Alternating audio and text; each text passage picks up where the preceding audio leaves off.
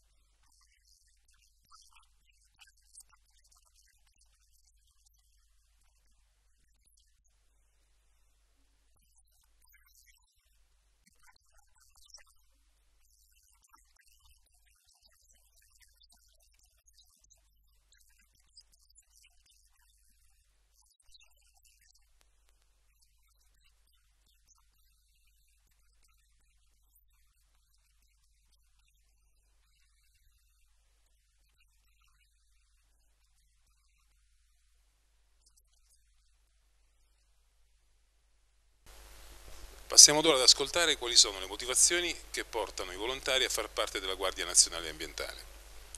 Allora, io prima di tutto lo faccio per senso del dovere, inoltre per passione personale perché essendo cresciuto in campagna con i miei nonni eh, ho sempre avuto particolare interesse per tutto ciò che è biologico, è vita e, mm, e riguarda l'ambiente. Di conseguenza portare avanti questa passione sono riuscito a diplomarmi all'agraria di Ascoli Piceno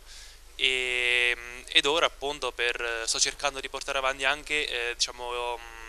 il mio impegno eh, all'interno della GNA, della Guardia Nazionale Ambientale, perché penso che sia giusto eh, per, molteplici, per, molteplici, motivi, anche perché ne, ne siamo in pochi